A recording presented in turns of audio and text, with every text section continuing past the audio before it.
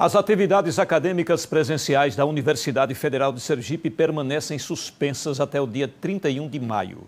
A prorrogação abrange o colégio de aplicação e os cursos de graduação e pós-graduação dos seis campi da instituição.